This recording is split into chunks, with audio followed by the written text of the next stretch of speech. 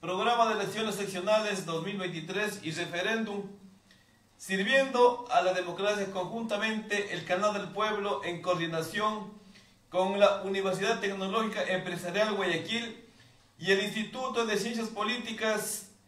Agradecemos una vez más a quienes están conformando parte del Canal del Pueblo y de manera especial a nuestro amigo Magister Gorky Aguirre, director del Instituto de Ciencias Políticas.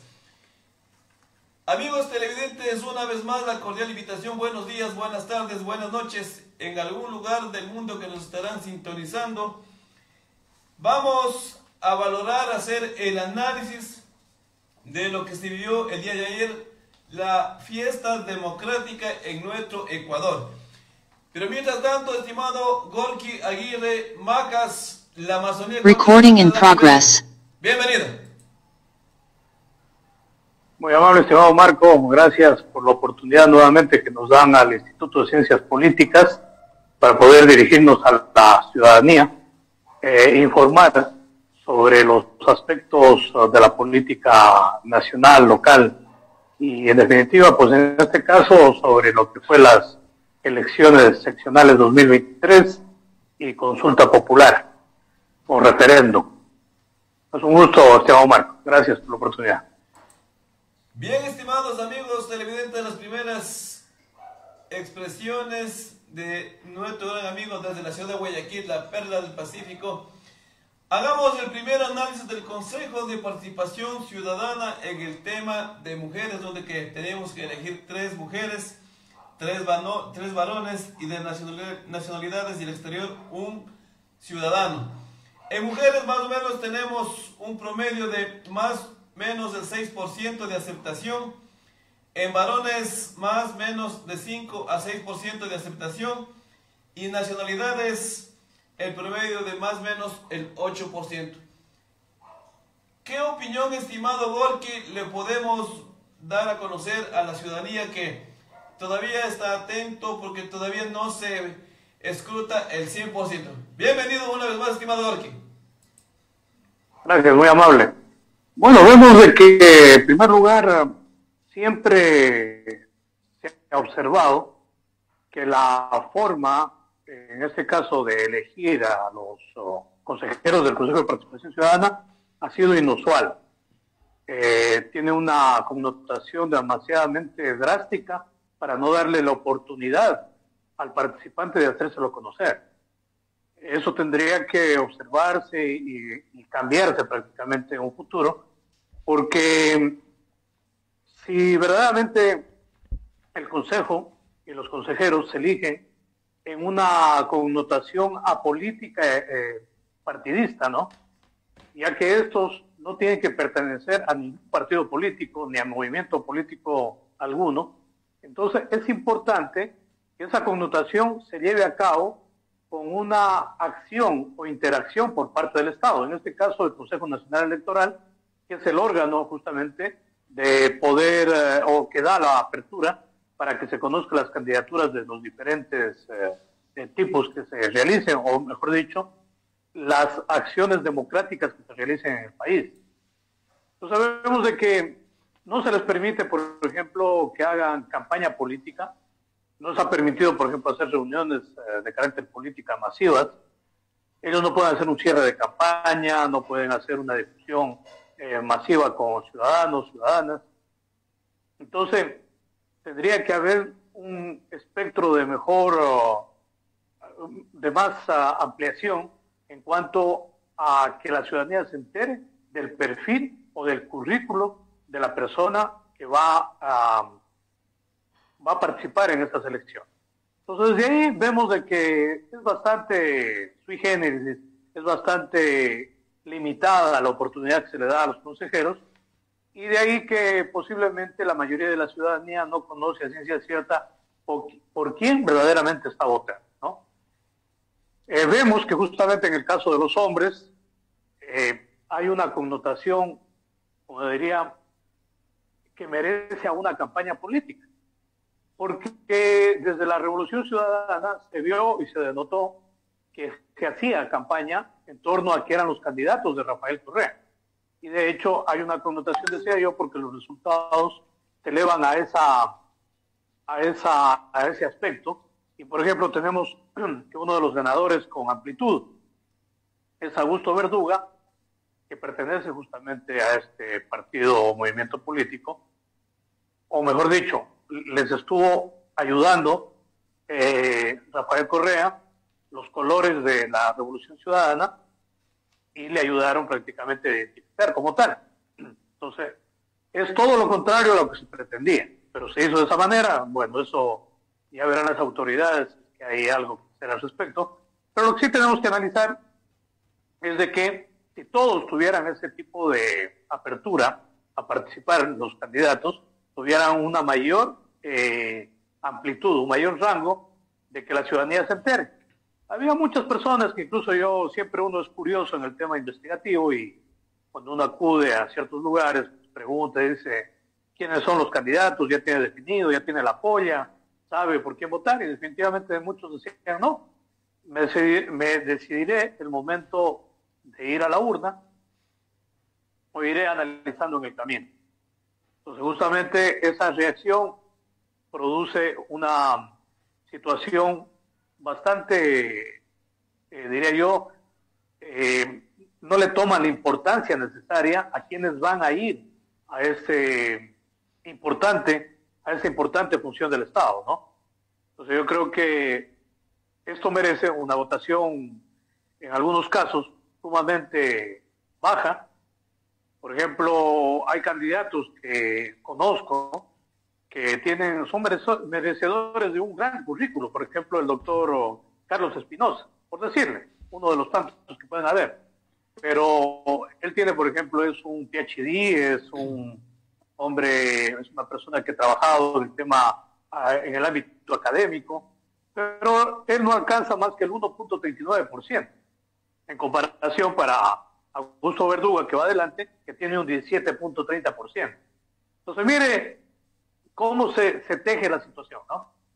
Entonces, ¿quién tiene la oportunidad de hacer una campaña política a su manera y de alguna manera no siguiendo el aspecto o la connotación lógica que exige la ley, puede ganar obligatoriamente. Y el que no, no. Entonces yo creo que es importantísimo en este aspecto ver la situación eh, cambiar esa norma para que se dé una mejor característica futura. Y es importante también hacer correlación a lo que se pretendía con la consulta popular. La consulta popular prácticamente al mismo tiempo que se estaba eligiendo a los consejeros del Consejo de Participación Ciudadana, estaba diciéndose que se los elimine la potestad para poder realizar todas y, cada una de las potestades que tiene la Constitución mucha gente también decía, bueno, dice, si, si, gana la consulta, ¿para qué estamos eligiendo eh, los consejeros del Partido de Participación Ciudadana si no van a hacer nada? A la final van a terminar yéndose a su casa. Entonces, yo creo que es importante más profundidad de análisis en el momento de hacer este tipo de elecciones. Tienen que tener más responsabilidad los consejeros, los partidos, movimientos políticos, inclusive quien las propone, ¿no? Y en este caso, eh, en este caso, quien da el fallo a favor, que es la Corte Constitucional.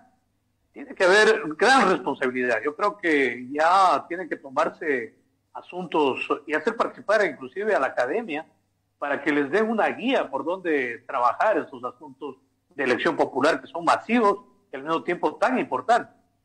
Eh, no se ve que existe todavía esa importancia, no se le radica la importancia necesaria al Consejo de Participación Ciudadana y Control Social. El hecho, en el caso de las mujeres, igual, vemos que hay votaciones eh, sumamente altas, pero reflejan otro tipo de campañas. Yo veía unas campañas, por ejemplo, sin mencionar a persona alguna, pero que se dedicaron a hacer campaña en el TikTok sin propuesta alguna, sin absolutamente nada, solo una imagen de una persona saliendo acompañada de otra, haciendo alguna acción agradable que se hace normalmente en el TikTok para atraer eh, lo que llamaría yo un clientelismo. Y simplemente es eso. O sea, no hay ninguna propuesta, qué es lo que se va a hacer, qué es lo que se va a lograr, tiene un plan de trabajo. No se pudo observar aquello. ¿no? Entonces, sigo insistiendo que es importante eh, darle la connotación e importancia necesaria a este tipo de elecciones y al mismo tiempo darle la apertura para que haya inclusive debate, por ejemplo, entre los, las ciudadanas y ciudadanos se van a enfrentar a este tipo de, evaluación ante el pueblo, ante el, público. Eh, tiene que haber un debate en el cual se vea cuál de las personas está más capacitado para que ocupe este tipo de cargo de la función eh, de transparencia y control social. Amigos televidentes, cordiales saludos a quienes se van sumando a la transmisión del Canal del Pueblo. Estamos con Gorky Aguirre, director del Instituto de Ciencias Políticas desde la ciudad de Guayaquil. Estimado Gorky, también dentro de la fiesta democrática, la consulta popular en la provincia de Morona, Santiago y específicamente para saber si la parroquia de Sevilla Don Bosco se convierte en el nuevo cantón de la Amazonía ecuatoriana, donde que nos arroja hasta el momento por el sí 83.51%, por el no 16.49%. ¿Cuál es la lectura que le da Gorky Aguirre en base a la consulta popular interna acá en Morona, Santiago? Estimado Gorky. Gracias. Es también de dar una connotación referencial en cuanto a lo que significa, por ejemplo, que haya 16.43% de personas que no quisieron ser, uh, subir, a ascender a como una parroquia a Sevilla Don Bosco, ¿no?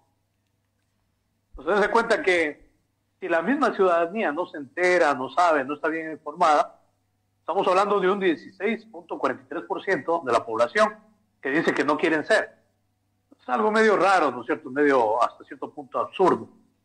Eh, este tipo de, acciones, de preguntas, de consultas populares, de referéndums, tiene que ser sumamente informada y con antelación inclusive, y tiene que socializarse con la población para poderles preguntar. Eh, no se puede lanzar, digamos, preguntas por preguntar sin tener una socialización en primer término, ¿no? Pero bueno, en todo caso vemos que también existe una gran mayoría, pues que son 83.57% de la población que ha votado por un sí y que quiere eh, justamente ser, eh, crecer, engrandecerse como tal, como población. Y, pero sí es importante tomar en cuenta siempre la socialización antes de lanzar este tipo de acción. Bien, estimados eh, amigos internautas también vamos a valorar, hacer ese análisis sobre las preguntas del referéndum 2023 que planteó el señor presidente Guillermo Lazo Mendoza, presidente del Ecuador, donde nos dice la primera pregunta, ¿está usted de acuerdo con permitir la extradición de ecuatorianos que hayan cometido delitos relacionados con el crimen organizado transnacional a través de procesos que respeten los derechos y garantías en mandado a la Constitución de acuerdo al anexo número uno. De igual manera tenemos una, una aceptación y un porcentaje y una medida hasta las 17 horas con 30. El sí tiene el 48.27% y por el no tiene el 51.73% estimado. Analicemos Pregunta por pregunta, tenga la gentileza, estimado Gorky. Gracias, estimado Marco. Bien, eh, habíamos eh, analizado por parte del Instituto eh, sobre este tipo de, de, preguntas, que en sí, hablemos de todo un contexto, no ninguna de ellas lograba un resultado satisfactorio en cuanto a la necesidad poblacional o la necesidad insatisfecha poblacional a nivel nacional. Si bien es cierto, se maquilló inclusive estas preguntas indicando que estas eran la salvación para la patria contra la delincuencia, eh, contra la economía prácticamente que vivíamos, contra la forma de hacer política, cosas así. Pero ya analizando cada una de las preguntas, el contexto, los anexos, en definitiva no, no solucionaba absolutamente nada de aquello. Por ejemplo, la pregunta uno, que hacemos referencia, que en este caso yo sí quiero, creo que es importante en este momento, hacer un llamado también a la ciudadanía y pedir que se dé por caducado, o mejor dicho, no se dé oportunidad de aquí en adelante para que se sigan haciendo los famosos y mal llamados exipol, ya que tuercen la posible idea de una realidad. Por ejemplo, el exipol que sucedió ahora, que el exipol daba como resultado de la consulta popular eh, una pérdida contundente a la consulta popular. O sea, decía que había ganado el sí. Ganaba el sí y el no estaba prácticamente muy lejano. Decía que habían ganado ciertos actores políticos, tanto en, eh, muy importante, por supuesto, en provincias ah, como Guayaquil, eh, perdón, Guayas, provincias como Pichincha, cantones como Guayaquil, Quito, Manabí, eh, bueno, en todo caso, daba prácticamente un contexto nacional y al momento de nosotros verificar prácticamente en este momento ya con el conteo de los votos, con un porcentaje bastante alto, vemos que es completamente irreal. Entonces, ¿qué sucede? Que cuando este Exipol funciona, puede dar una información real y verídica a la situación, pero cuando no funciona puede ser simplemente, eh, se puede convertir en un problema dentro de la parte sociopolítica. Y puede ser que actúe inclusive la sociedad en contra de una realidad. Me explico. Puede ser que la gente confíe en el Exipol y no confía verdaderamente en los resultados electorales. Entonces, no sé cuál es la lógica en este momento de nosotros aplicar este tipo de, encuestas ah, eh, a boca de urna que llaman, eso lo tendrían que hacer los partidos y los movimientos políticos para saber exactamente cómo están avanzando y, si es que verdaderamente hicieron un trabajo bueno, el resultado es satisfactorio o no, o puede ser que ellos puedan internamente contrarrestar a lo que están pasando en las urnas y lo que ellos tienen como base de datos para poder eh, reclamar. Pero no puede ser el Exipol directamente dirigido al pueblo puede crear inconvenientes tan desastrosos. Tenemos, por ejemplo, el caso de Sedatus históricamente, en el caso de Lenin Moreno, cuando fueron las elecciones anteriores, antes de Lazo, eh, que justamente estuvo hasta un juicio, tuvo eh, el, director de Sedatus, por esa situación, por adelantar un criterio prácticamente y defenderlo ese criterio a capa y espada, indicando que ese es un resultado, que tiene que ser ese resultado y que lo otro es trampa se le da categoría de verdad a un resultado que es realizado por ciertas personas al que es oficial. Entonces creo que es importante tomar en cuenta aquello y ya yendo a la pregunta de la pregunta 1, vemos que efectivamente tiene un 51.47% que gana el no. O sea, le dijeron no al presidente de la República. Le dijeron no a quien prácticamente propuso la, pregunta. Esta pregunta incluso tenía una connotación de alcance eh, de ayuda para las otras preguntas. Un alcance eh, en el cual permitía que si votabas eh, por esa pregunta, por el sí, prácticamente el resto se iba a continuar, ¿no? Porque daba connotación normativa en cuanto a manejarse todo sí, ¿no? Y esa era la campaña del presidente Lazo eh, durante todo el espectro de campaña, la oportunidad de campaña, de todo sí, ¿no es cierto? A las ocho preguntas. Entonces, en este caso, esta pregunta a lo mejor merecía, digamos, de alguna manera bastante atención, pero no iba a solucionar absolutamente nada en cuanto a la delincuencia. Haciendo un raciocinio sobre ella, es sumamente difícil eh, lograr de que se extradite a un ciudadano porque yo quiero, porque simplemente parece que fuera un delincuente o no es un delincuente, si es un narcotraficante o no es un narcotraficante. Primero viene de la connotación que el país, otro país tiene que pedir. Y el país que lo pide, ciudadano, primeramente tiene que darse de que éste sea, tenga doble nacionalidad para que lo pida y que el delito haya sido realizado en el país eh, que lo está pidiendo. Entonces, eh, esta connotación nos lleva a nosotros a que veamos, observemos, analicemos las preguntas.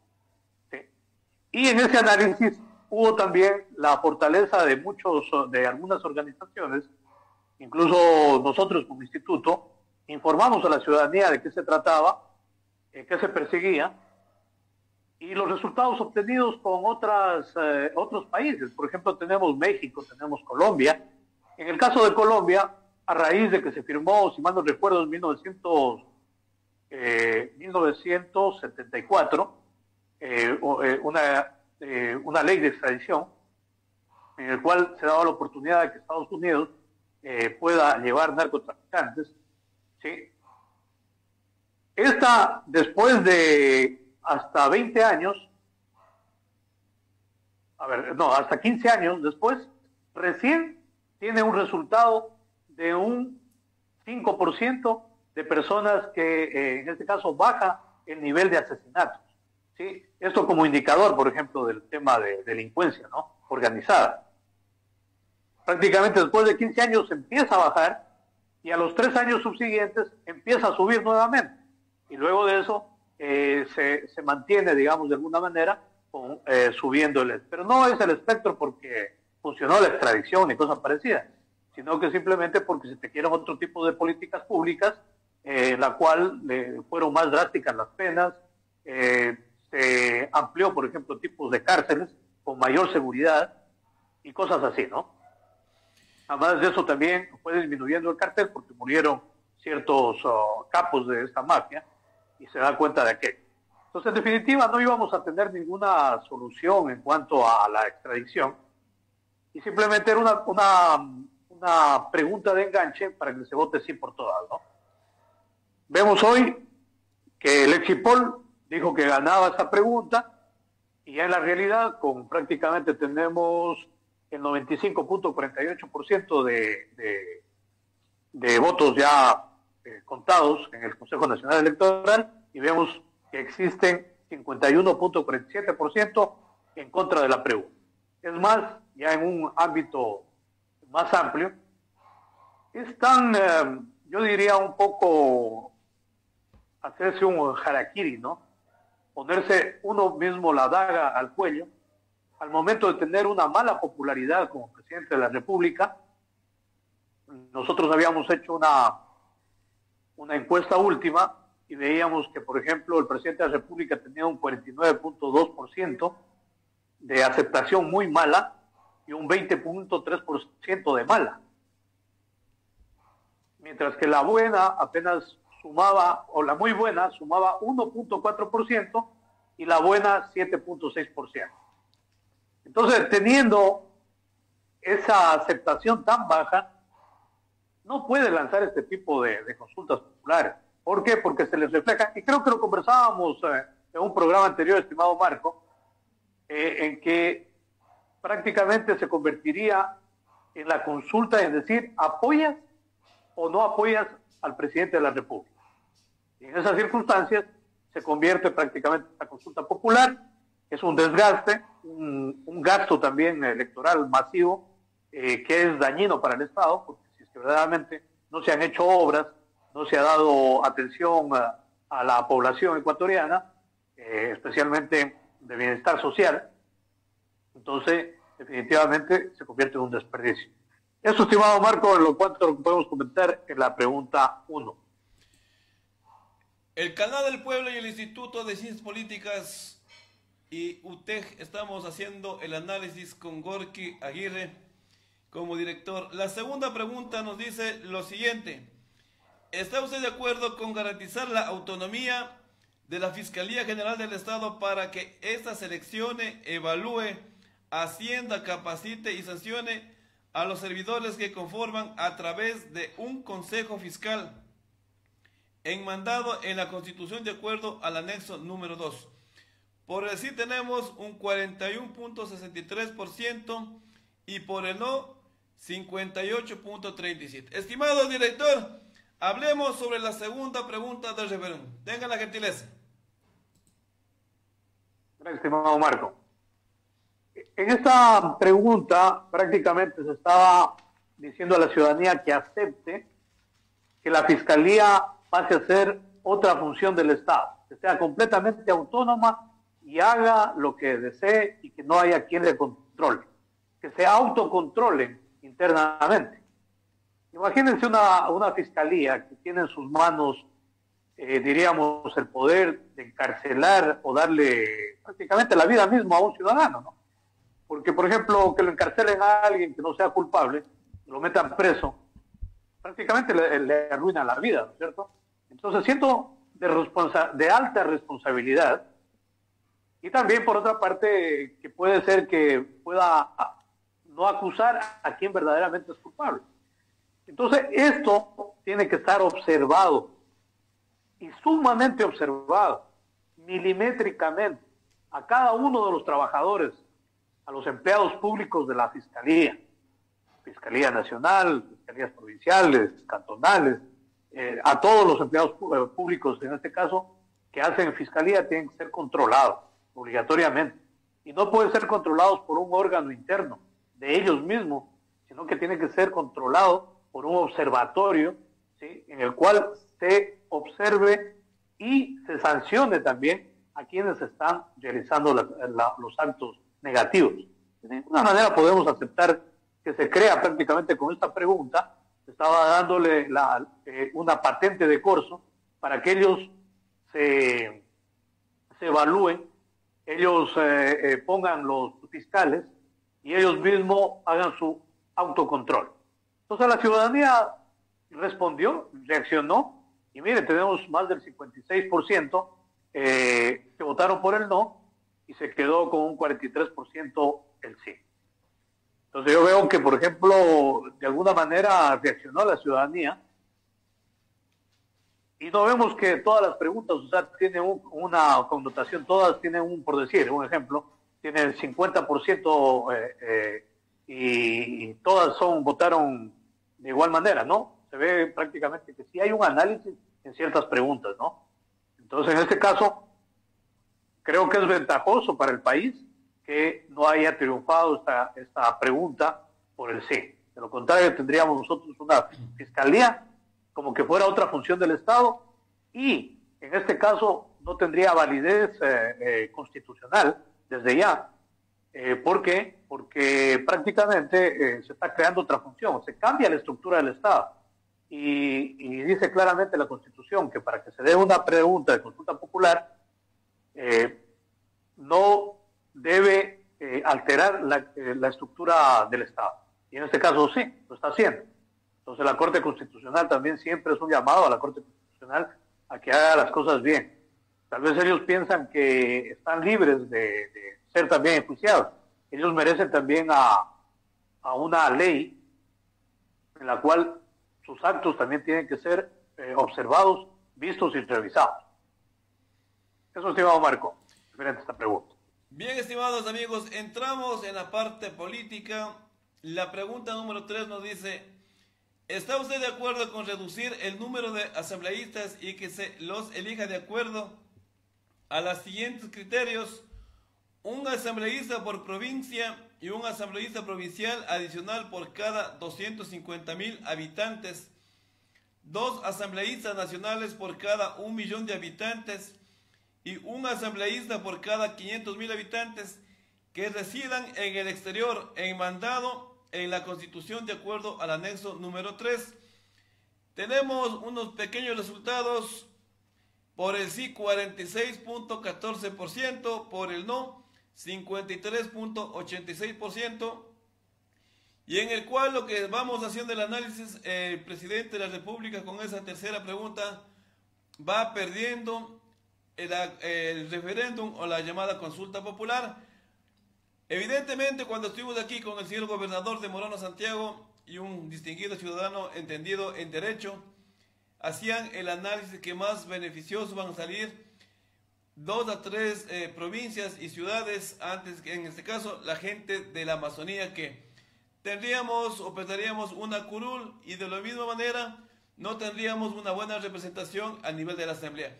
Estimado director, hablemos sobre la parte política, lo que el ciudadano, la ciudadana, el voto castigador para el presidente de la República en esta pregunta. Tenga la gentileza. Bien, gracias, estimado Marco. Esta, esta pregunta, gracias a Dios, no no se ha logrado aceptar. Y vemos que justamente ya con un, con un 98%, ah, perdón, un 87% de escrutados, tenemos que va avanzando eh, el no. Miren, ¿qué significaba? La, Constitución de la República del Ecuador es una constitución de derechos y al mismo tiempo trata de evolucionar los derechos. Ese es el principal, y es, y es normativa para todo una connotación geopolítica, inclusive, ¿no? No solamente para nuestro país. La idea es de que vayan evolucionando los derechos. Jamás regresen, no sea, eh, no sea de carácter retroactivo ni, pueda vulnerarse los derechos. Porque el momento de regresar, sea regresivo de derechos, es inconstitucional en primer término. Entonces, ¿qué pretendía esta pregunta? Esta pregunta pretendía que las provincias pequeñas, justamente como lo había dicho el, gobernador, eh, entendido en la materia de derecho, a lo cual el análisis es, eh, es acertado. Nosotros también como instituto hemos hecho un análisis, incluso teníamos un cuadro. Eh, le había enviado también, estimado Marco, un análisis sobre el tema. En este caso, veíamos que todas las provincias pequeñas les bajaba prácticamente la representación y quedaban en un representante. ¿sí? Entonces, y también los migrantes, quedaban prácticamente con un representante, y los migrantes de, del, eh, Latinoamérica prácticamente quedaban sin ninguna representación. Teníamos representantes de Estados Unidos, Canadá, de Europa y Oceanía, un representante por cada uno de ellos. Y en el caso de las preguntas pequeñas, especialmente todas las, las amazónicas, tenían, les bajaban a un representante.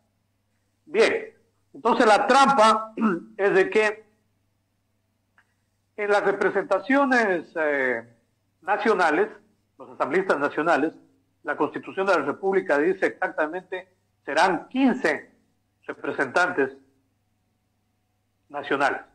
No habla de más. Pero en la pregunta indicaba que por cada millón de habitantes iban a tener la representación de dos asambleístas. Sumado entonces, nosotros tenemos una previsión para el 2025 más o menos 19 millones de habitantes. Entonces con eso teníamos 38, ¿sí? 38 asambleístas nacionales. ¿Qué sucede? Que subieron de 15 a 38. ¿Y cuáles son los que van a ganar ahí? Los partidos hegemónicos, que normalmente ellos ya no es una representación provincial, ni cantonal, ni cosa parecida, ni, barrial, ni, la población directa, sino que es a nivel nacional. Entonces, a nivel nacional tenían 38 asambleístas que poner. Y cuando sucede eso, no va a haber representación provincial, pero sí va a haber una representación nacional. Y los nacionales pueden ser de cualquier lugar especialmente, ya digo, de, los partidos hegemónicos. Entonces se rompe la relación, se rompe la, um, lo que se preguntaba, la intención de la pregunta. La intención de la pregunta decía que vamos a bajar los asambleístas por diferentes motivos que no los explicaban claramente tampoco ni los anexos, pero decían que los van a bajar. Supuestamente que hay un gasto alto tal vez de, por parte del Estado, eso no se justifica por la representación. La representación es sagrada. La representación de los, de, los pueblos, de nacionalidades, de las eh, provincias, de las localidades, tienen que estar, tienen que ser sumamente amplias, necesarias, porque de lo contrario no hay quien defienda los intereses en la localidad. Si nosotros lanzamos un asambleísta es para que me vaya a defender justamente eh, mis necesidades insatisfechas poblacionales en cada uno de los territorios. De lo contrario, pues, o sea, me voy yo mismo a ver, a hacer cola, a ver si me atienden el, la asambleísta nacional. Entonces la trampa, prácticamente, y lo hablo por toda la amplitud necesaria, porque se rompe la relación, estaba subiendo, en vez de bajar, de 15 a 38 asambleístas. Entonces eso no se puede dar, es absurdo. Si me prometen a mí decir que voy a bajar, tiene que llevarse esa connotación. Si son 15, tengo que bajar a 10, 10 asambleístas nacionales. Pero en este caso lo subían prácticamente a 38 asambleístas nacionales. Y con eso iban a tener una hegemonía de poder, porque las provincias eh, grandes, como son eh, tanto eh, Guayas, tanto Espichincha, no les bajaba. no va a haber baja porque la proyección poblacional es sumamente alta. Entonces ellos prácticamente no bajaban, se permanecían y el daño era para las provincias pequeñas. Provincias que tenían, por ejemplo, representación de dos, bajaban a una, los que tenían prácticamente representación de cuatro, bajaban a dos, e inclusive algunos de cinco bajaban a dos. Y de esa manera, pues la ciudadanía, creo y espero, que se dio cuenta y prácticamente tenemos el resultado, en este caso, de la pregunta, que baja de 53.30, en el caso de los votos no, y del voto sí, 46.70. Eso, estimado Marco. En la misma línea política, en la actualidad, en el Ecuador existen 272 movimientos políticos. La pregunta dice la siguiente, la 4. ¿Está usted de acuerdo con exigir que los movimientos políticos cuenten con un número de afiliados mínimo equivalente al 1.5% del registro electoral de su jurisdicción y obligarlos a llevar un registro de sus miembros auditado periódicamente por el Consejo Nacional Electoral, enmandado en la Constitución de acuerdo al anexo número 4. Y el resultado momentáneo tenemos por el sí 44.67% y por el no 53.33%. Una vez más, eh, el voto dirimente, el voto consciente y el voto renovador en esta pregunta quiere que el ciudadano tenga la oportunidad eh, de toda índole, clase y social y a medidas de, sus posibilidades porque estamos en democracia y esto decide el pueblo, esto decide el elector. Estimado director, hablemos sobre la pregunta número 4.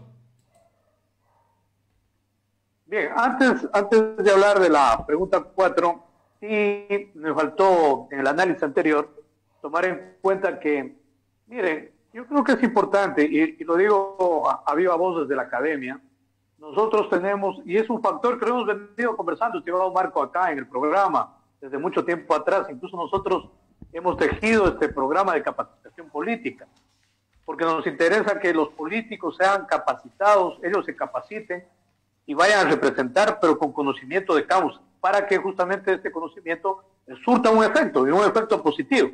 Pero si se va cualquiera a representar porque tiene dinero, porque tiene a lo mejor este una popularidad en TikTok o en, alguna red social, eso desgasta la representatividad en la Asamblea Nacional. Tienen que ir personas que verdaderamente sepan a qué van y, que vayan a construir justamente leyes que empoderen y satisfagan las necesidades de la población.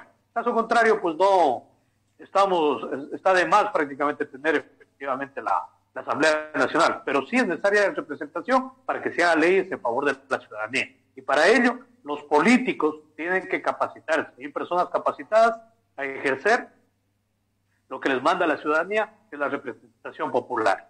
Bien, en, cuanto a la pregunta 4, la pregunta 4 esto ya prácticamente está establecido dentro de la Constitución.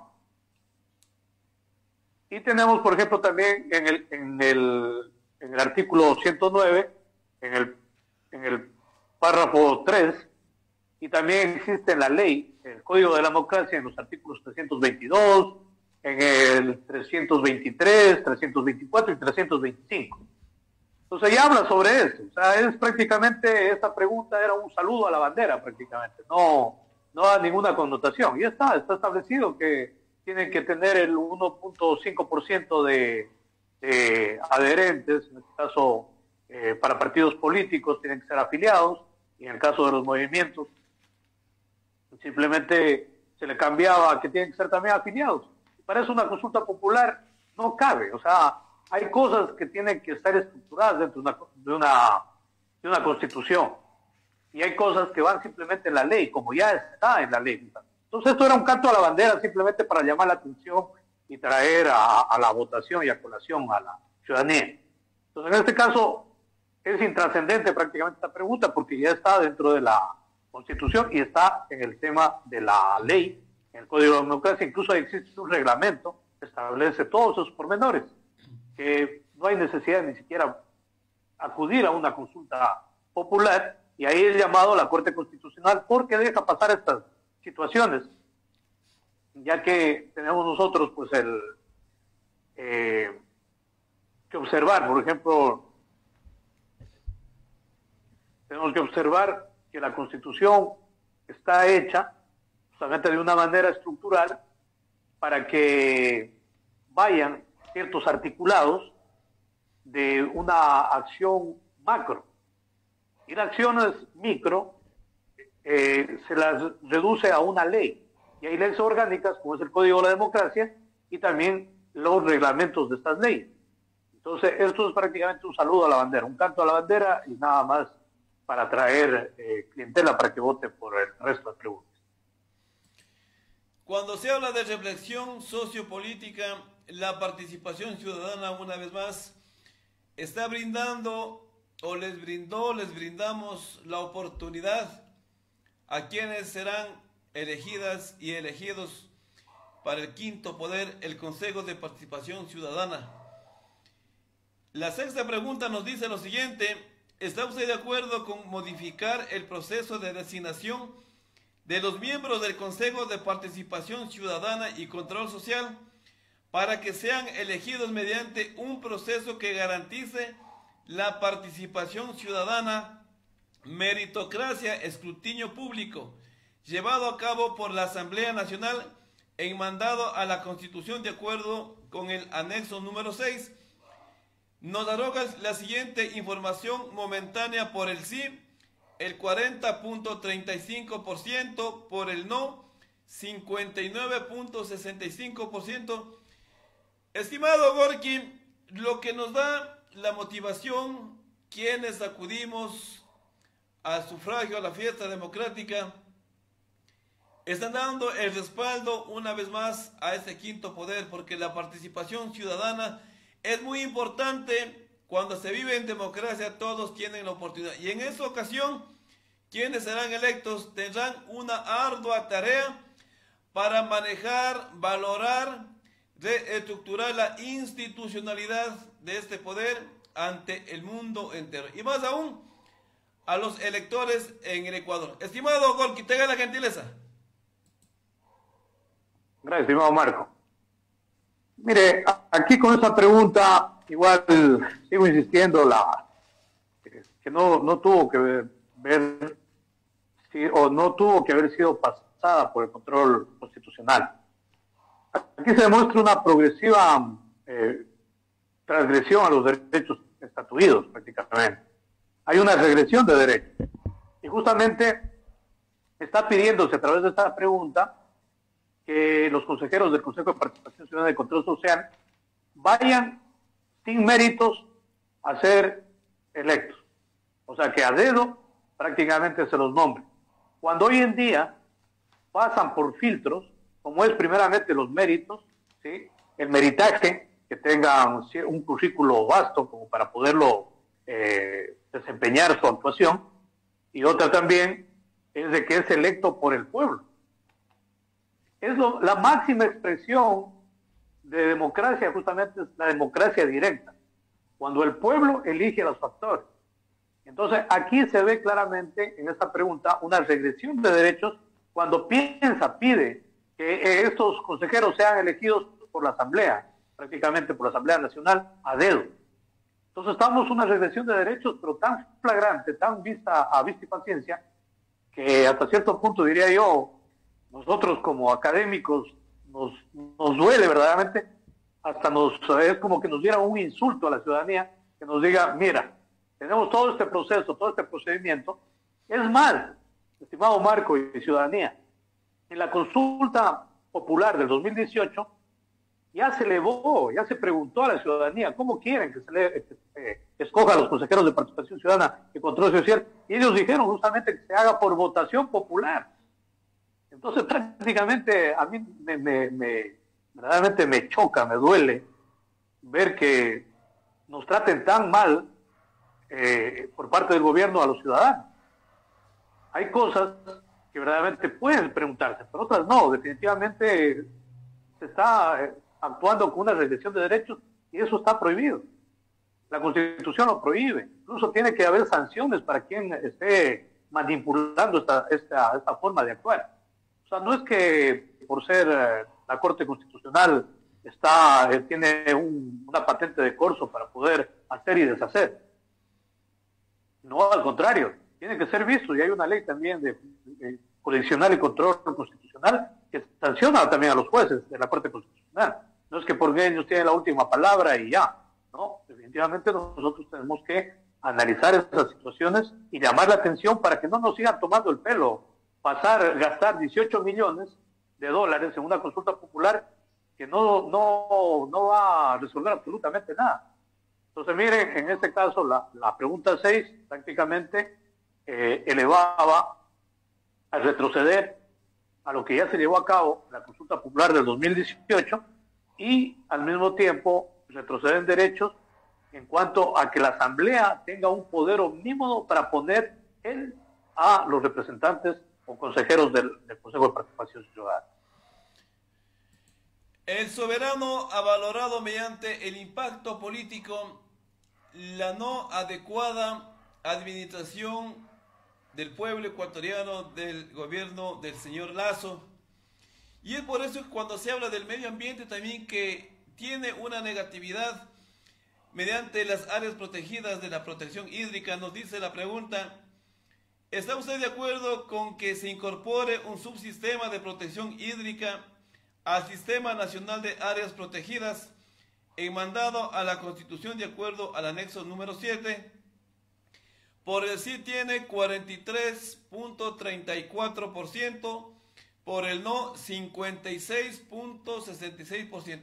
Estimado eh, director, cuando el, ser humano quiere que el, medio ambiente esté eh, eficaz, tiene que el pulmón del Ecuador es la Amazonía, pero sin embargo el ciudadano, el votante, el consciente, el joven, ilustrador de la democracia, le dice no al gobierno de Lazo, estimado Gorky. ¿Qué podemos hablar en algo inherente? También creo que esto ya es que, eh, como decía hace un momento, la administración, quienes la acompañan al señor administrador nacional, están fallando. Y aquí es donde que el voto castigador, una vez más, al gobierno de las...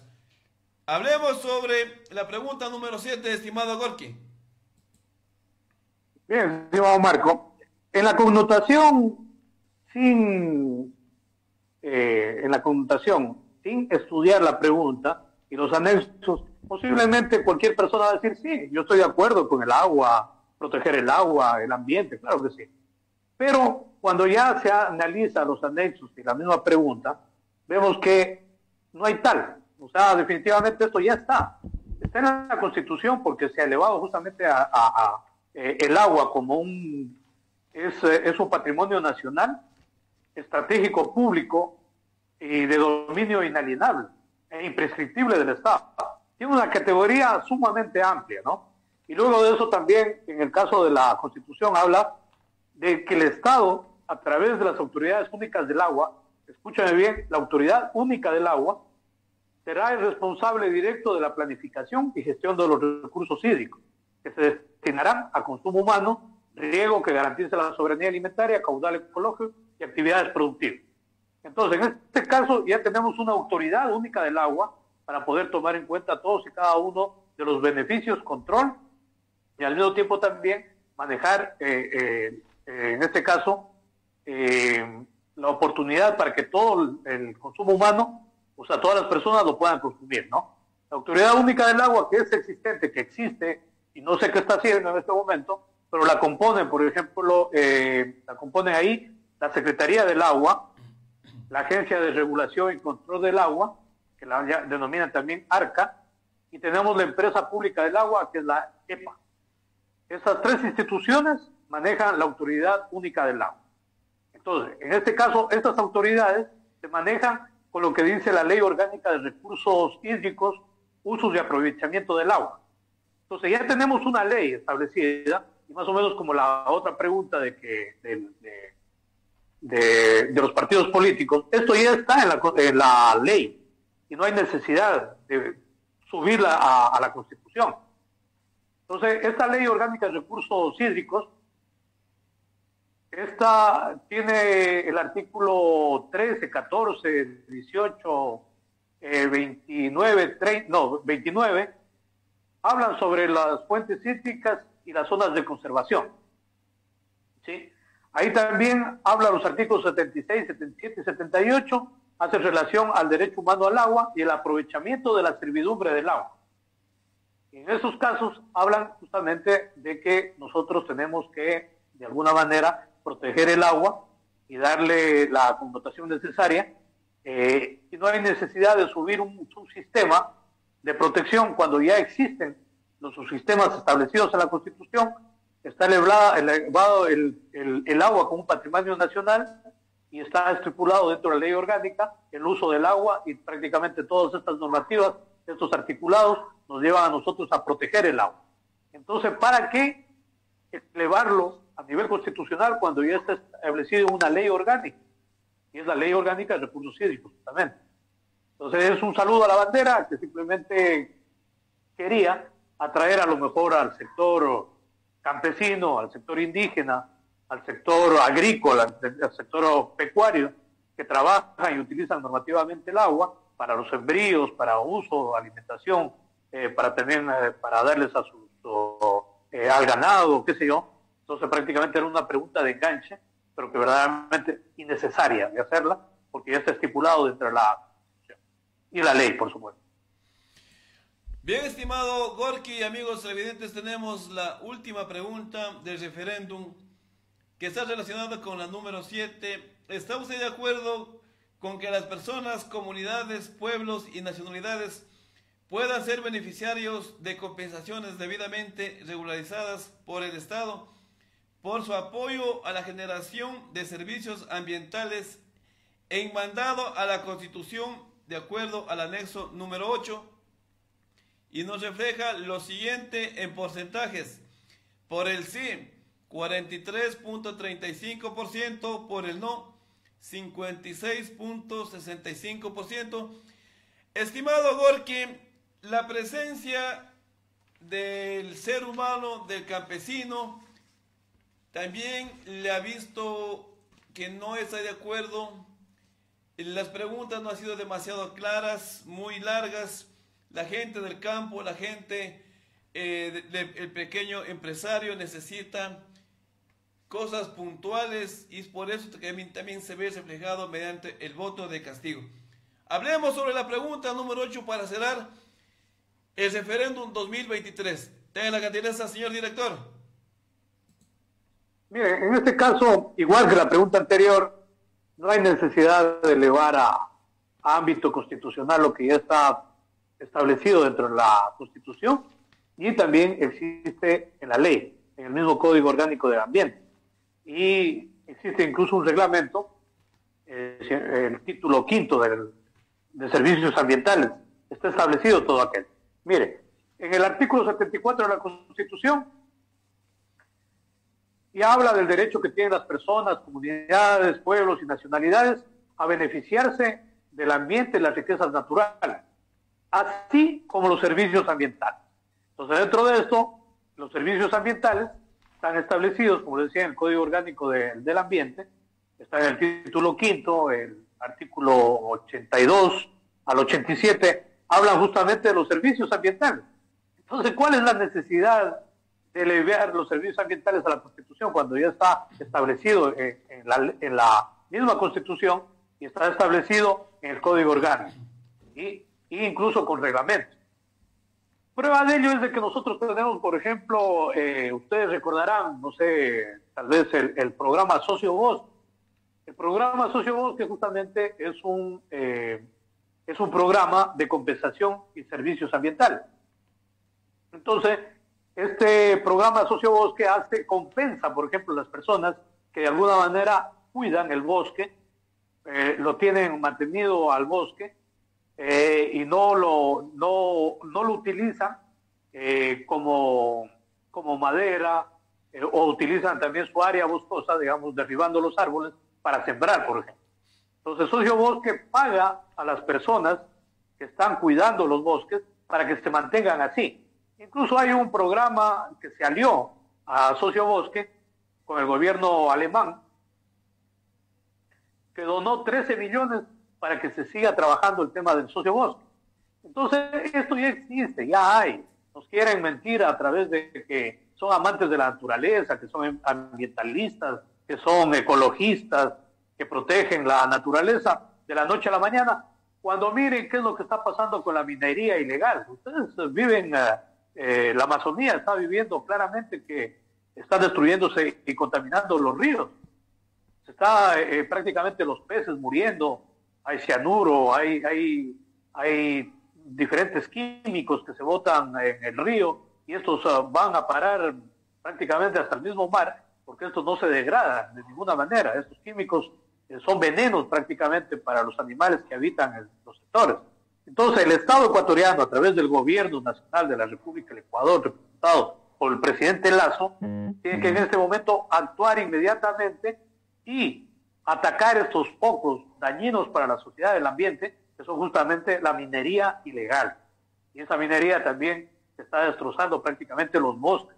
¿Qué sacamos nosotros subiéndolo a categoría constitucional, lo que ya está establecido en la Constitución? No está de ninguna manera, más bien está mareando diciendo que mañana, ah, como ustedes no, no aprobaron la, consulta popular, yo no puedo hacer nada. No, es, no es cierto, es mentira, ya está. Tiene que cumplir lo que dice la Constitución y lo que dice la ley. Más bien hay que hacerlo cumplir al gobierno como tal, hay que hacerlo cumplir a los ministerios del ramo, Ministerio del Ambiente, que por favor acuda, sancione, meta presos a todas esas, esos diferentes uh, maquinarias que son ilegales y que están actuando y destruyendo eh, nuestro, nuestros bosques, nuestras selvas y toda la vegetación y animales que tenga a su alrededor. Eso, estimado Marco, en cuanto a esta pregunta. Amigos televidentes, estamos en el canal del pueblo y con señor Gorky Aguirre, director del Instituto de Ciencias Políticas desde la ciudad de Guayaquil. Este 5 de febrero y mediante la última hoja de ruta que el Consejo Nacional Electoral y mediante la Ley Orgánica Electoral y de Organizaciones Políticas de la República del Ecuador, acudimos y en nuestras manos también a las urnas con una sexta papeleta, donde que los movimientos y partidos políticos hicieron o armaron sus estrategias, no solo en el último mes, sino desde muchos años atrás.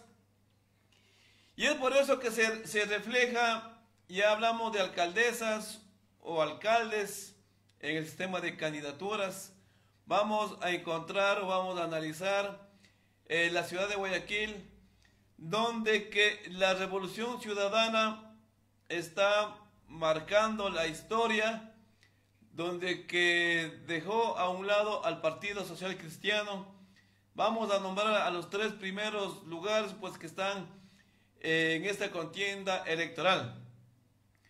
Jimmy Jailara está hasta el momento con el 10.31%, Aquiles Álvarez con el 39.75%, Cintia Viteri que se estaba postulando para la reelección con el 30.33%. Estimados amigos televidentes, ustedes que nos estarán sintonizando en vivo y después analizarán este video en todo el mundo porque así lo, lo estamos verificando mediante el canal de YouTube.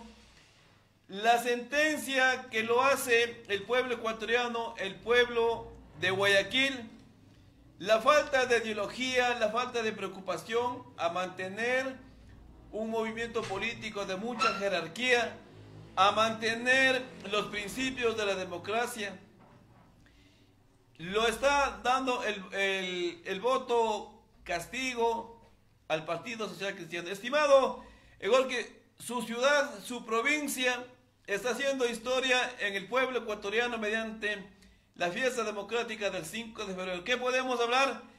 Que la revolución ciudadana después de un buen tiempo, que no está eh, ausente, hoy está haciendo presencia y apoyando autoridades en las primeras ciudades y provincias del país. Hablemos sobre la alcaldía de Guayaquil, estimado Gorky. Bien, estimado Marco. Bien, es una situación un poco, llamémosle, engorroso para eh, la hegemonía que había tomado desde mucho tiempo atrás el Partido Social Cristiano, lo cual entiendo a su organización como tal eh, les merece la preocupación. Y justamente vemos ya en las cifras que eh, teniendo un teniendo un 94-16% escrutado, eh, sigue en ascenso el caso de Aquiles Álvarez como candidato a la alcaldía de Guayaquil, que maneja 39.73% en este momento contra su contendora inmediata, que sería la alcaldesa actual, y a la reelección Cintia Viteri, que maneja un 30.35%, ¿no? Estamos viendo que prácticamente fluctúa entre un 9, casi 10%, y eso ya sería un, caso irreversible, por lo cual ya inclusive se han dado a conocer declaraciones por parte del caso de Aquiles Álvarez. Eh, oficialmente no se ha escuchado declaraciones de la, de la alcaldesa. Hay algún video que circulaba por ahí por las redes, pero no es una declaración oficial, ¿no? En el caso de, hay una declaración oficial por parte del abogado Nebot, que reconoce justamente la pérdida en Guayaquil, hablaba también de la ganancia en cuanto, o de haber ganado unas 30, um, 30 alcaldías a nivel nacional y algo así como tres prefecturas. Claro, eso se tendría que corroborar luego, pero lo importante es la connotación que el Partido Social Cristiano ha bajado prácticamente su aceptación ciudadana a nivel nacional. Es eh, fácil de visualizar, eh, también es fácil de entender en el tema del electorado, el electorado trata hoy en día, y lo habíamos hablado y analizado en otros programas, estimado Marco, Marco con, justamente aquí en este espacio que es de mucha importancia, de que la ciudadanía está pidiendo, eh, primero, un resultado de las personas electas. Segundo, es de que se vea también eh, actores nuevos. Eh, no vislumbremos lo juvenil, sino joven en el aspecto de que sea nuevo Ah, no, no, necesariamente tiene que ser una persona de 15, 16 años. No es, eh, no, es la, la, virtualidad que se da, sino joven en la cuestión de que sea nuevo en política, ¿no? Nuevo en política, pero que tenga un currículo, que esté preparado. No es porque simplemente sea alguien que es nuevo en política, se pone a participar sin tener la mínima opción. Y de hecho vemos, vemos resultados también en muchas provincias, en muchos cantones, que hay muchas personas que pensaban que tenían a lo mejor eh, a lo mejor la calidad necesaria como para poder enfrentarse a una contienda electoral y no llegan a un 1%, no pasan a lo mejor. Entonces, e, esa situación tiene que cambiar el país. De hecho, es importante que también no, no existan tantos contendores porque esto segrega la, la, la votación. Entonces vemos, por ejemplo, si tenemos un 39.73% de Aquiles Álvarez y tenemos un 30-35%, 30.35% de Cinta Viteri y tenemos contendores como Jimmy Jairala que maneja 10-35%, tenemos Pablo, Pablo Duarte con 14-31%. Estos sumándolos tenemos prácticamente sobrepasa a la votación de Aquiles Álvarez, ¿no es cierto? Pero si no tuviéramos tantos candidatos pequeños, tenemos unos que tienen 1%, 0,78, 0,50, eh, 0,62, 0,40. Todos estos van acumulando y estos prácticamente se vuelven, eh, llamaríamos normalmente lo que se dice los chimbadores. Entonces no tiene que haber una población exagerada de candidatos, sino concentrarse en los mejores, inclusive hacer alianzas. Si hay algunos partidos y movimientos políticos de ninguna manera se les puede quitar la oportunidad de participar. No, pero tienen que ver también la posibilidad que se tiene de participación. Entonces, en este caso, pues, vemos nosotros que eh, los contendores principales, en este caso eh, la Revolución Ciudadana y el Partido Social Cristiano, se enfrentaron en Guayaquil y triunfó la Revolución Ciudadana, prácticamente regresó, pero justamente es por la actuación de su misma alcaldesa. es fácil de darse cuenta cuando la ciudadanía estaba pidiendo, eh, hay muchos barrios marginales en, el, en Guayaquil, estaba pidiendo agua, pidiendo que les pavimenten, eh, pidiendo eh, obras sanitarias, no existían.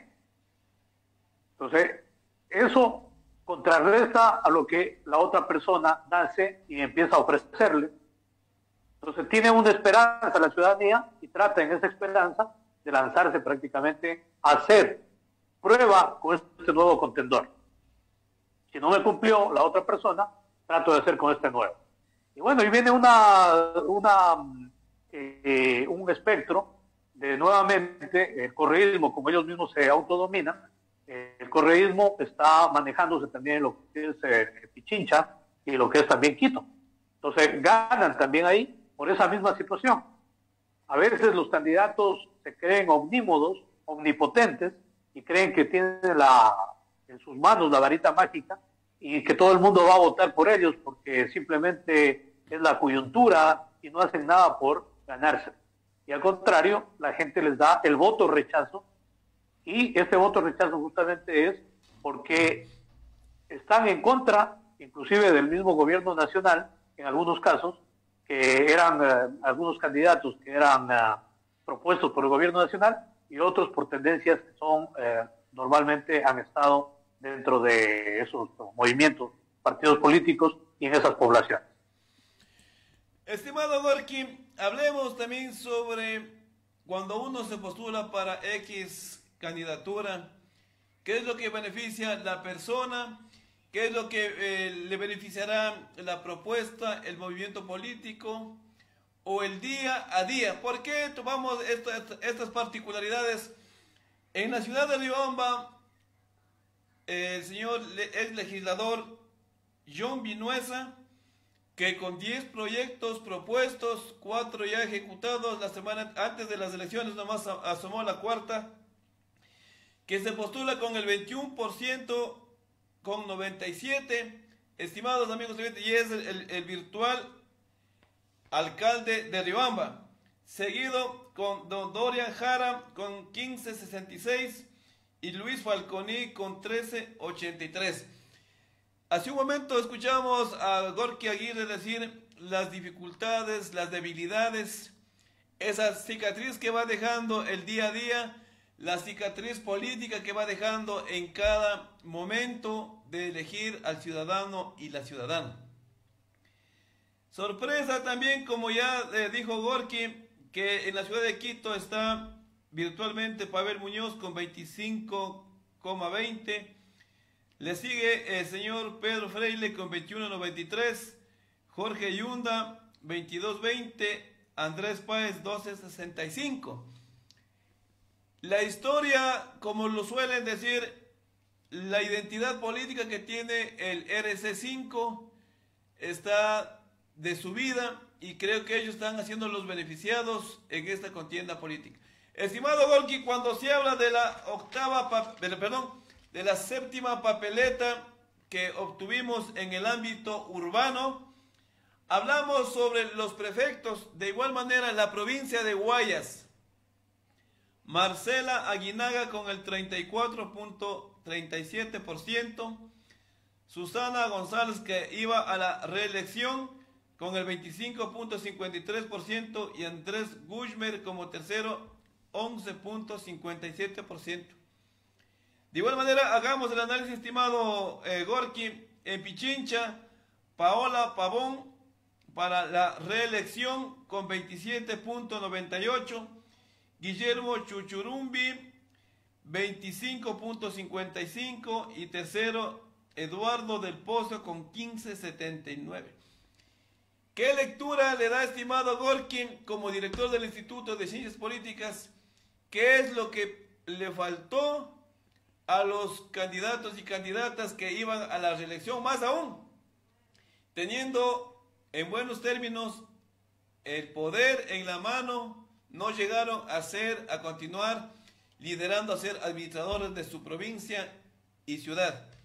Y más aún también que gente nueva que quiere hacer política, usted dijo hace un momento, no hablemos de, las edades, sino hablamos de ciudadanos y ciudadanas nuevas que quieran servir a la política. Y esto tiene una muestra sobre la transparencia, la participación ciudadana que quiere el pueblo ecuatoriano, la nueva generación política, la nueva generación en el voto selectivo. Hablemos sobre la prefectura, estimado Gorki, en el Ecuador, de Pichincha y Guayas, y por ende que también va a reflejar acá en Morono, Santiago, ya vamos a tener 24 años manejados por el movimiento Pachacuti, y es por eso también la participación ciudadana que en, mediante el INE acá estamos considerados como la provincia más pobre del Ecuador. ¿Qué es lo que va a predominar en este nuevo, en esta nueva etapa de democracia ya electos por el pueblo ecuatoriano, estimado Gorky? Tenga la gentileza. Bien, gracias, estimado Marco. Eh, bueno, juega una serie de, papeles uh, o de acciones, actitudes para poder consagrar a los candidatos como beneficiados del voto, voto popular. Uno de ellos es el, generar obra.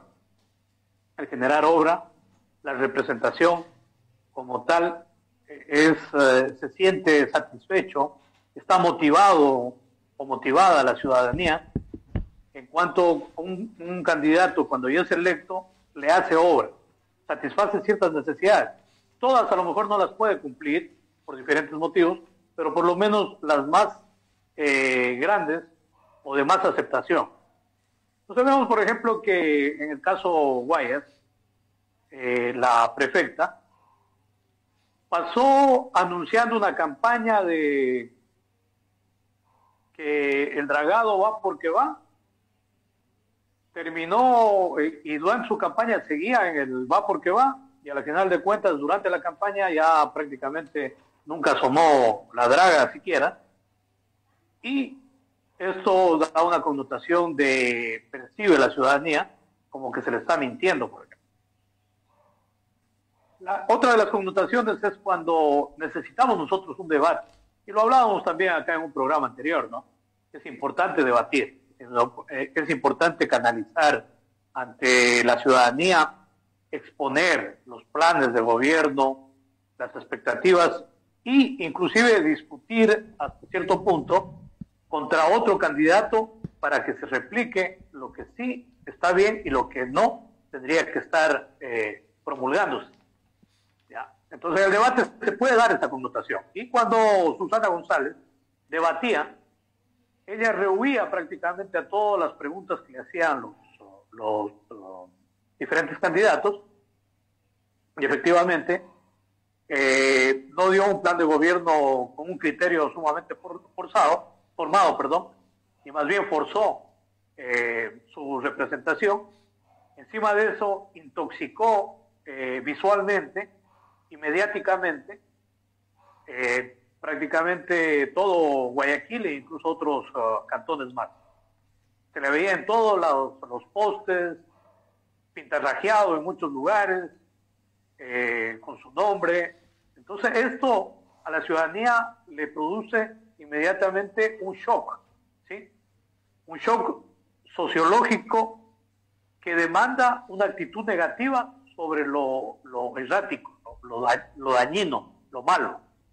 Entonces, ¿qué sucede? Que la ciudadanía responde de una manera contraria. De ninguna manera va a apoyar que se salte, por ejemplo, las normas, las normas de ornato, y solamente esté favoreciendo a esa persona. Entonces, en este caso, tanto también va para la, alcaldía. Ese comportamiento fue visible para los ciudadanos en Guayaquil, que soportaron prácticamente una campaña intoxicante en cuanto a eso y sin propuestas.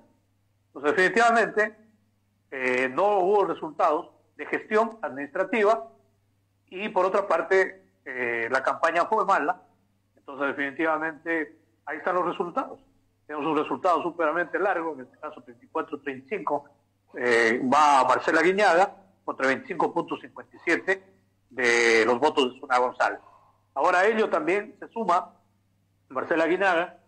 Eh, lógicamente la, Revolución Ciudadana tiene un, eh, una votación establecida, digamos, tiene un piso en el cual eh, normalmente interactúa, pero este se acrecentó en contra también de la campaña que le hizo el gobierno contra la Revolución Ciudadana. Entonces esto es a nivel nacional, no solamente es en Guayaquil, sino a nivel nacional.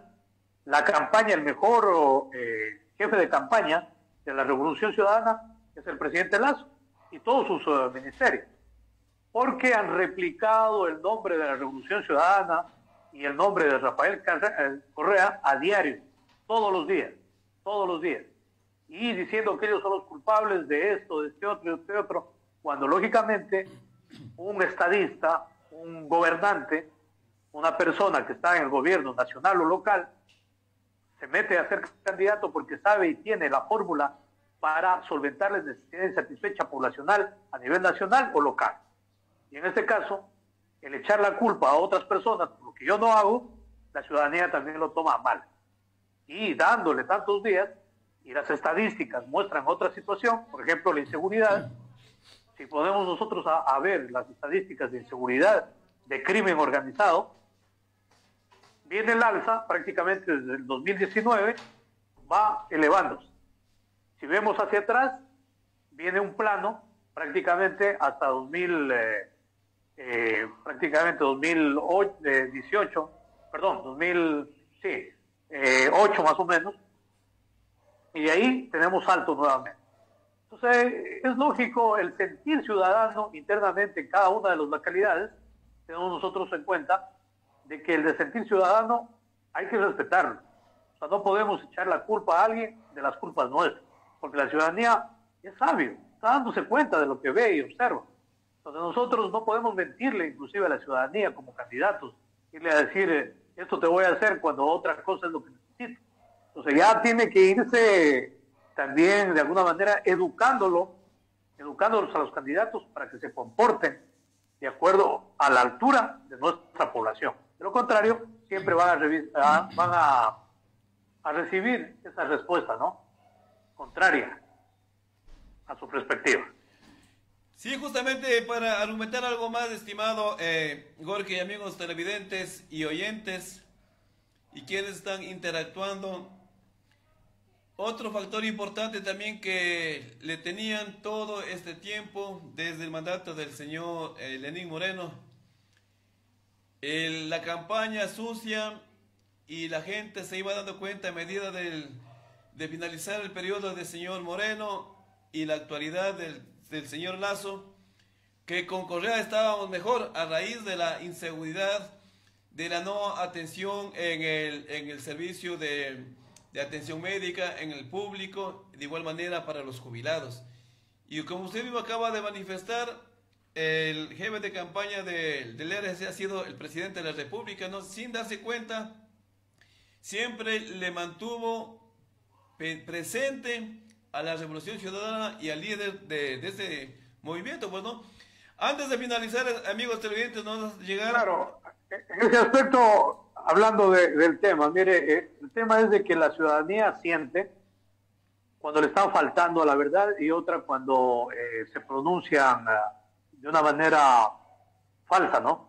Nosotros vemos claramente, y el presidente en, sus estadísticas, y hemos visto las estadísticas, no ha gastado absolutamente, hay cero gasto de atención social.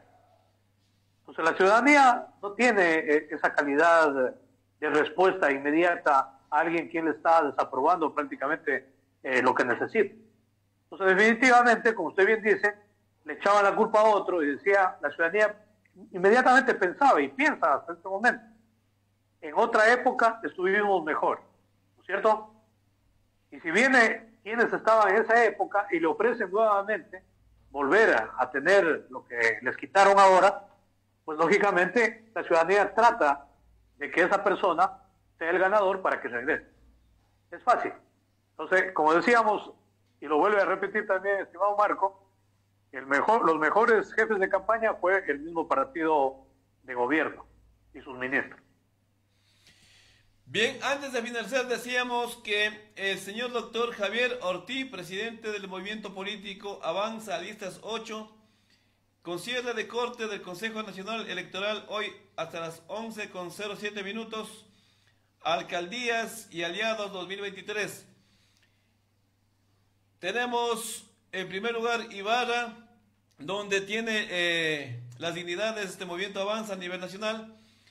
Ibarra, Antonio Ante, Cotacachi, Puerto Viejo, Montecristi, Jama, Muizne, Cayambe, Los Bancos, Marcabelí, Montalvo, Pelileo, Echandía, Quijos, Arrosemena, Tola, Durán, Archidona, La Libertad y Colta. Son 19 ciudades que el movimiento avanza, está en esta contienda política y está siendo una de las primeras con RC y todavía falta tiempo para poder ir haciendo ese análisis, ir haciendo esas estadísticas y le le autoconvoco, le autoinvito, estimado Gorky, para una próxima cuando ya tengamos el 100% de, de papeletas escrutadas para hacer un análisis general tanto del referéndum, de alcaldías y prefectos. El partido final todavía no está, estamos en tiempo extra, que es el conteo final, y lo invitaremos a usted como señor director del Instituto de Ciencias Políticas para que nos ayude haciendo el análisis. El canal del pueblo está presto para continuar con estos diálogos. La motivación final, estimado Gorky, para el pueblo ecuatoriano. muchas gracias. Yo, de mi parte y de parte del Instituto de Ciencias Políticas, agradecerles a la ciudadanía ecuatoriana, primeramente por haberse dado cita a las votaciones, porque es un acto democrático y por otra parte también haber obrado con, inteligencia al momento de votar. Eh, definiremos quiénes serán los candidatos ya en, breve, tendremos el 100% de los escrutinios y sabremos exactamente a quién merece y también el compromiso de cada uno de los ciudadanos, representantes, hombres y mujeres, que vayan a los diferentes eh, estamentos de servicio a la población ya que justamente es un área de servicio la que tienen que dar en cuanto a ser representantes a, los municipios, a los, gobiernos autónomos descentralizados, tanto gobiernos rurales, parroquiales, gobiernos municipales y las prefecturas. Entonces, en este caso, pues esperamos nosotros que cumplan a cabalidad cada uno de los planes de gobierno y que den atención que tanto la necesita la población, especialmente en el tema de seguridad que muchos de los planes de gobierno que se escucharon a nivel local hablaron sobre eso. Ahora sí, tenemos que tomarles eh, prácticamente en serio la situación y que se empiecen a trabajar cuando ya los posesionen, empiecen a trabajar inmediatamente con sus planes sobre eso que tanto nos, nos uh, es un malestar que tanto nos asedia al país, ya que el gobierno nacional no está cumpliendo con aquello. Gracias. Bien, amigos, Estamos finalizando el programa de elecciones seccionales Referéndum 2023, sirviendo a la democracia, el canal del pueblo y en coordinación con la Universidad Tecnológica Empresarial Guayaquil y el Instituto de Ciencias Políticas, gracias al señor Magíster Gorky Aguirre como director. A ustedes, amigos televidentes, agradeciéndoles porque el día de ayer, 5 de febrero, hicimos historia una vez más porque estamos en fiesta democrática y que ustedes han tenido la voluntad de elegir al que han creído conveniente entre hombres y mujeres. Tenemos nuevas autoridades, ya están en firme, en siguiendo el, el camino. Esperemos que el día de mañana tengamos ya que el Consejo Nacional Electoral cierre los escrutinios y podamos decidir o definir, perdón, ya a las nuevas autoridades que en el mes de mayo se incorporarán a las diferentes autoridades. Agradecemos a nuestros técnicos, a Carlos Atiencia Rivera, a Luis Fernando Amigrefa, les decimos el canal del pueblo desde Macas, Morona, Santiago, su servidor Marcos Pinoza. Muchas gracias, hasta una próxima oportunidad. Inicio del espacio publicitario.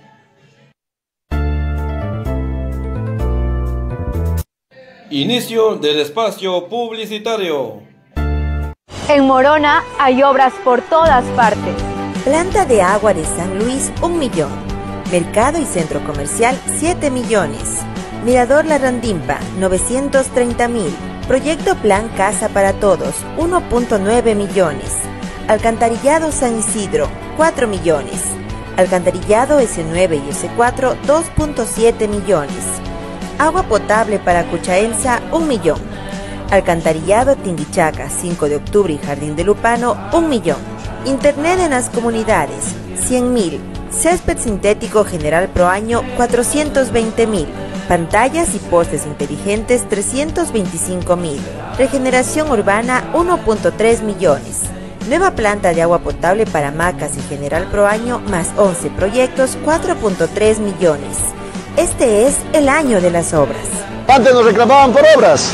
Hoy tenemos obras por todo lado, gracias a la coyuntura con el gobierno nacional y seguirán habiendo más obras.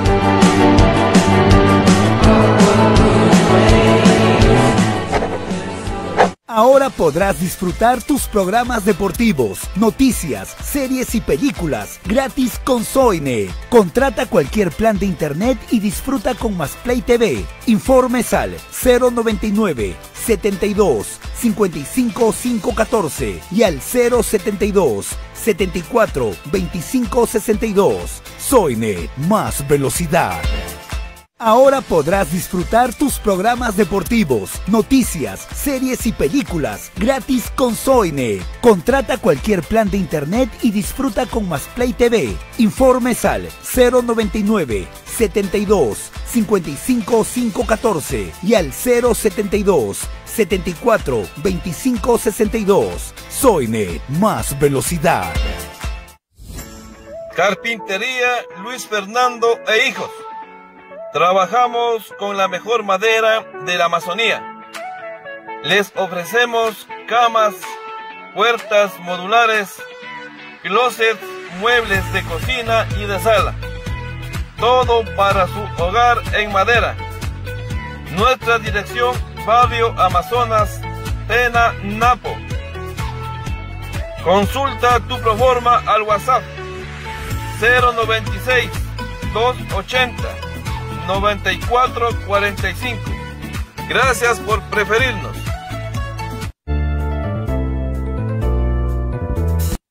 Fin del espacio publicitario.